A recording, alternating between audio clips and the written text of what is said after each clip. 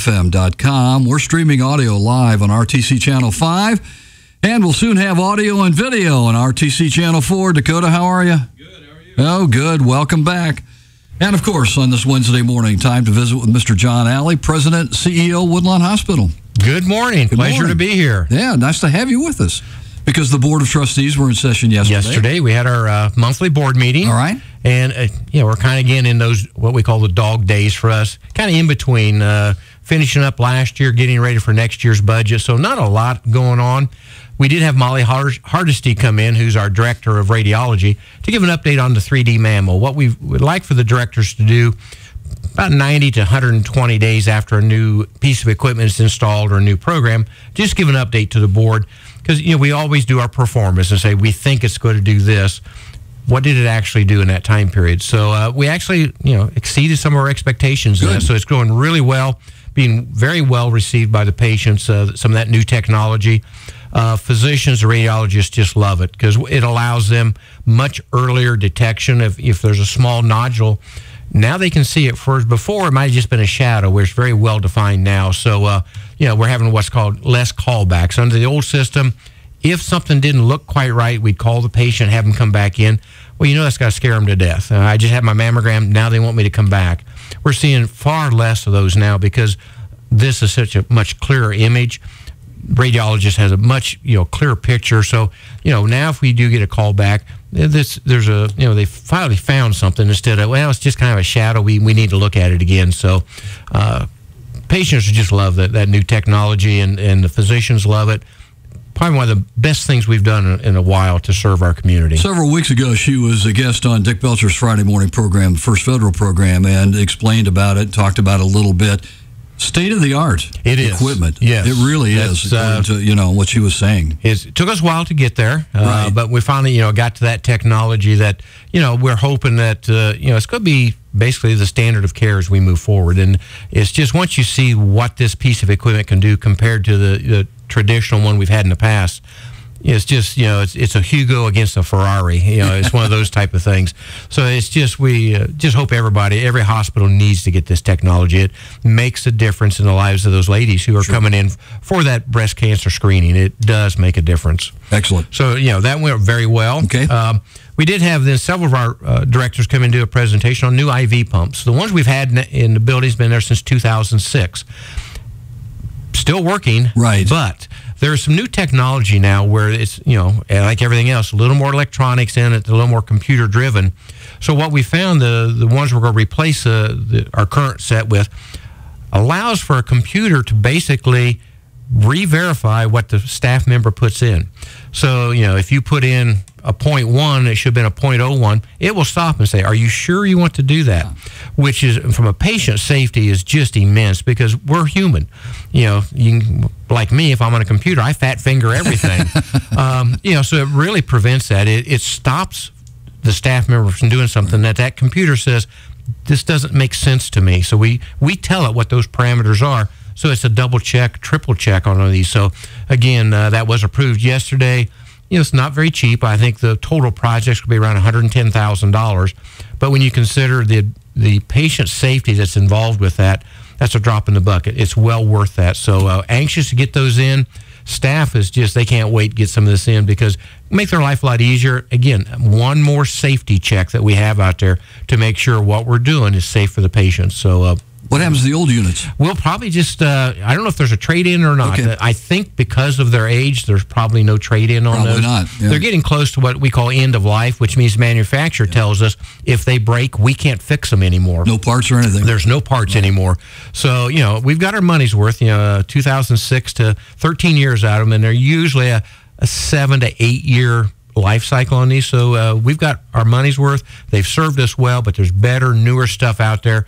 That's what we have to move up to. Okay, excellent. Uh, we had several emergency management plans. We're required each year to have, you know, basically an emergency plan for everything. Then board has to approve those. So we submitted about 11 yesterday. We've probably got another 20 we'll submit over the rest of the year. And it was kind of timely is that uh, last week we actually put into place our uh, external disaster when we lost the power. You know, that's a pretty big deal for us. Uh, even though we have emergency generator, still, that only gives us about 60% coverage in the building. So, you know, we had to do some shuffling around of folks. Uh, a lot of our clinics off site do not have emergency power. So, now where do we put those patients? So, it, it, uh, made us put our plan to work, and uh, we always train for it. And I've always, you know, it's obvious we do better in the real thing than we do in the training or uh, when we have a drill. Uh, I think because people know it's a drill, so they kind of okay, they, they go through the motion. Human nature. Human nature. and but when the real thing's there, it was amazing how well they did. And we were close to doing it uh, Monday afternoon. Uh, once I kind of saw what the storms were developing south of us, the initial indication was that they were going to head right straight for Rochester. Right went to the hospital, worked with the house supervisor. You know, we got some patients moved out of you know areas that could be dangerous, and then we just monitored that storm. And then, you know, unfortunately, there was some damage south of us, but no injuries. So it was nice. But we were ready. If I had to, uh, we had some people on a call list. If we saw there was going to be injuries, additional patients coming to our facility. We have folks that we could call in to help with that kind of the overflow, uh, max patient flow we was going to get. So, two times okay. here in a, in a week or so. I hope we're done doing our emergency uh, disaster plans. Uh, it's all behind us and we have some smooth sailing. We'll hope so. We hope so. That's right. Finally, then we got into the uh, financials for the month. Uh, for the month of April, we had gross revenue about 12.8 million. Our deductions or our write-offs, which is our the contracts we have with the various payers, government, or, or self-pay people. Wrote off about 8.2 million. We had uh, eight, uh, excuse me, 4.6 million of money to spend. We spent 4.9. Uh, you know, so we did have a, you know, we spent more than we took in for the month. So we had an operating loss about 283,000. We had some non-operating income, which is like the cafeteria sales, various things like that. That you know, it's not really patient related, but it's still income to us of 201,000. So we wound up with a net loss for the month of 81,000. We were hoping for a profit, but you know, it wasn't that bad. So again, this is kind of our slow time when we get in the summer months where we usually see less volumes coming in. Monitor it closely. Uh, our goal is by the end of the year to have an operating profit, uh, so we're not looking at some of our you know non-operating income to support us because that's kind of that income could go away very quickly. And there's some government programs that we participate in that we put in that non-operating because it's not direct day-to-day patient care. And you know that's one of those easy come, easy go. The government gives you the money, they can take it away just as fast. So we want to make sure we get an operating profit without some of that that non-operating. We're not quite there yet, so we're you know we're tweaking things as we go and hope by the end of the year have all that figured out so we do have an operating profit by the okay. end of the year. All right. And that was pretty well the board report. Pretty well took care of it? Yes. John, I want to ask you about measles. Have you had any uh, seen any measles cases in Fulton County and Rochester? No. Now we've had you know some folks come in concerned that the, their children might have been exposed. So of course, at that point, we run all the, the tests on those. So we have not had any confirmed here. I think we've had one up in the Angola area. Uh, it's probably the closest case that we had, and, and I'm pretty sure that came from a southern Michigan exposure.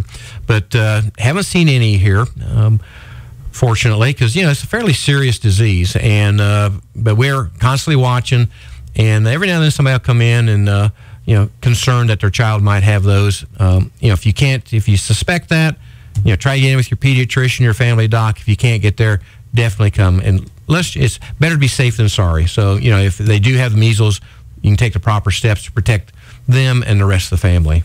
How was the winter for flu for Woodlawn? I know one time we had uh, shut the hospital down in terms of that. Right. It's we're pretty well past that right okay. now. Uh, you know, was I, it as you expected it to be? It was a yeah. Okay. It was one of those. You know, the year before it was far worse than we expected because the the vaccine was you know, very bad. It, did, it wasn't effective. It wasn't working. This right. year it was fairly good. I think that you know it's one of those they guess each year when they put that together what strains of the flu they think they're going to uh, be exposed to. So I think they got it pretty close this year.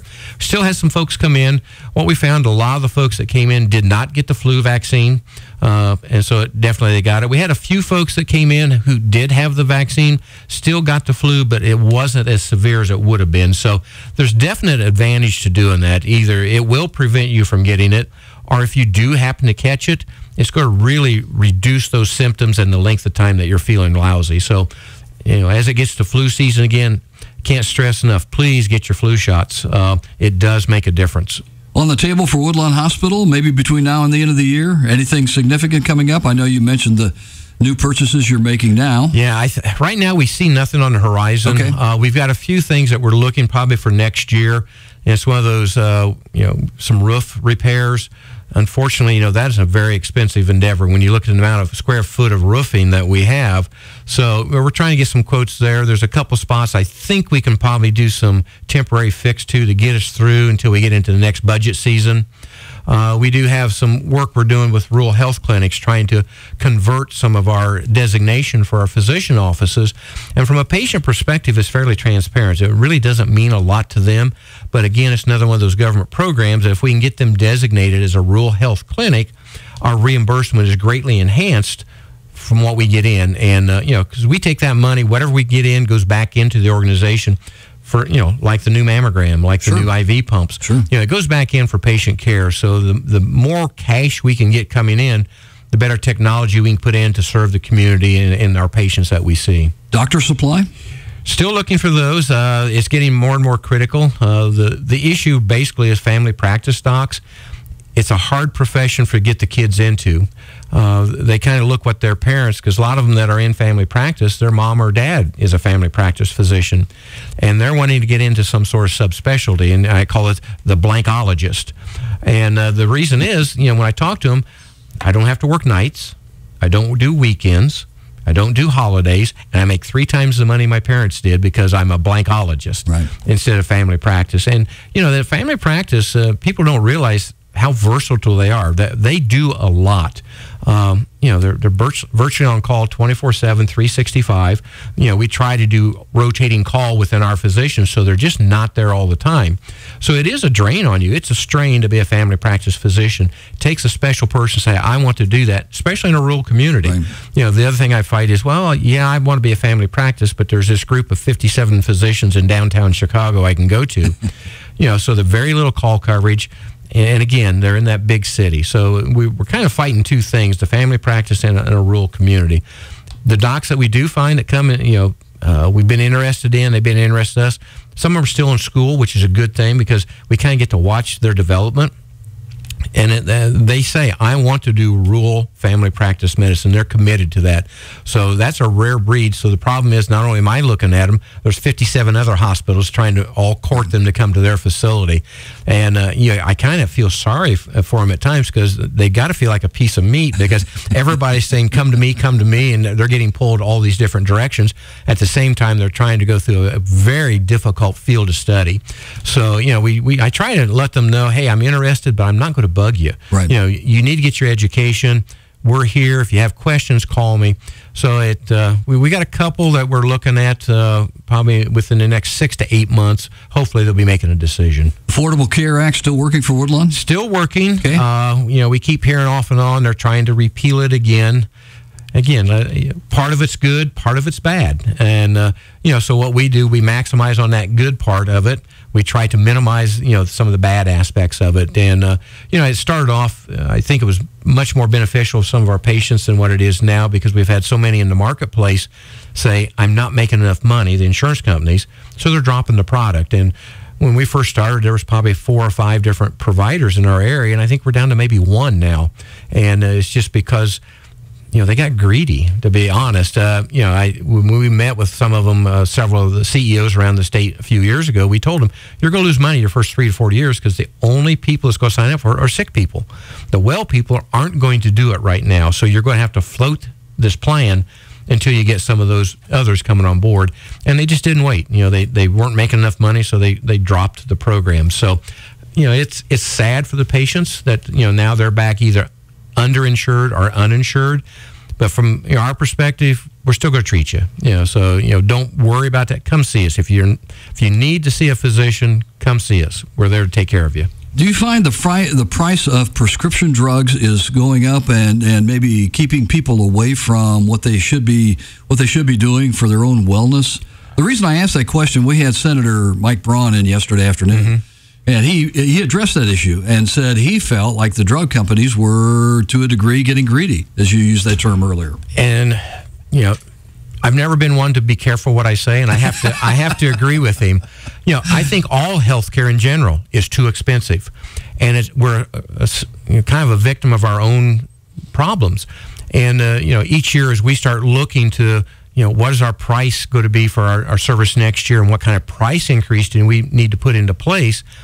What drives that more than anything is the insurance companies telling us what discount we're going to give them because you have to work backwards to your bottom line.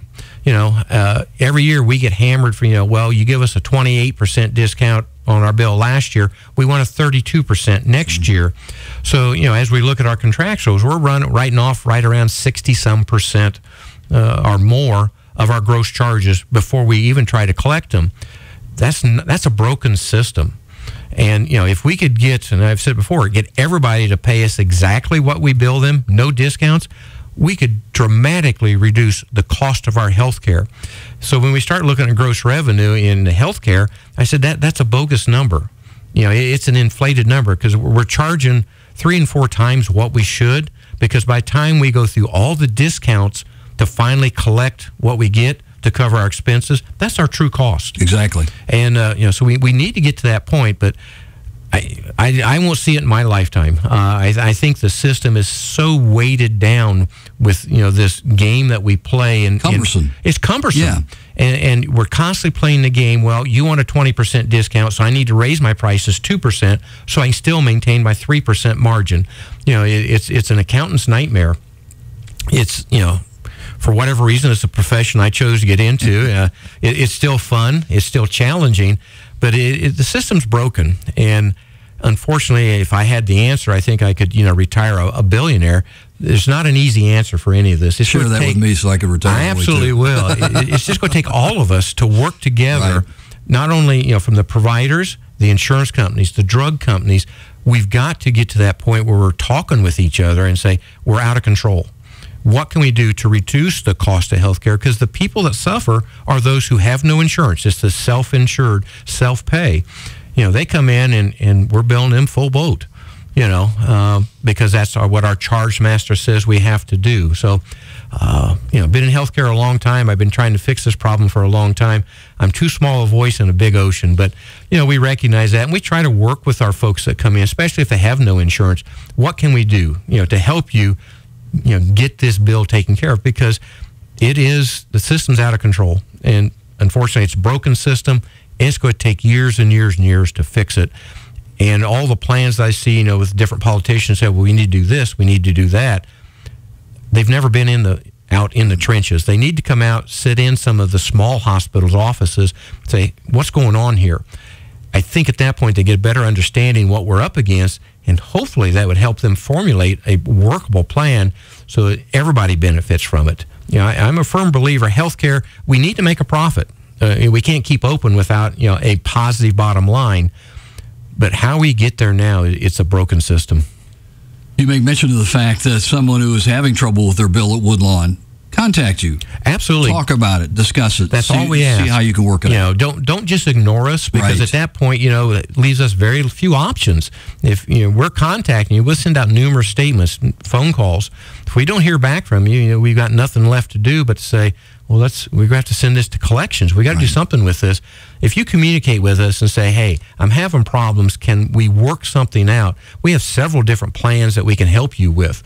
Um, you know, there's some short-term financing where it's interest free, where you know X number of dollars per month. Uh, you know, you might qualify for our compassionate care program based upon your income level and number of people in your household. But you got to talk to us. You, you got to communicate with us and allow us that opportunity to try to work with you to figure out a workable solution for both of us. You know, we, we don't want to send people to collections, but you know, sometimes you got to protect our interests because again, we've got to generate the cash to keep the building open. And, uh, you know, sometimes you got to do things that you're not comfortable with.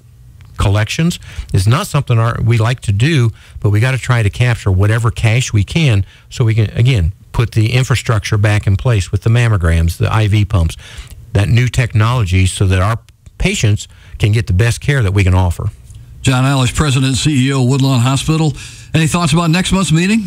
Don't know. Okay. Uh, I like I say, there's nothing really major coming up. Uh, we're hoping to have maybe some uh, feedback from. Uh, we submitted our applications for the RHC project, and uh, what we get from the government is it could be from two to 17 weeks. It's one, you know, the we're working on their time now, so uh, we don't know when we'll hear back from them. We do know at some point they'll come and do an inspection of all of our physician offices.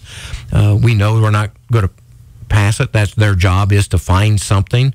Uh, so we'll probably get a little of a, a, work list. Say you need to fix this, fix that. We'll fix it, submit it, and then we'll finally get them the designation. So we're hoping to have all that in place as we you know roll into 2020. Have RHC in place to help again generate some additional cash that we can put back into the organization. John Alley, as always, we appreciate your time this morning. Thanks very much for being my, here. Thanks for sharing with us. My pleasure to be here. Thank you.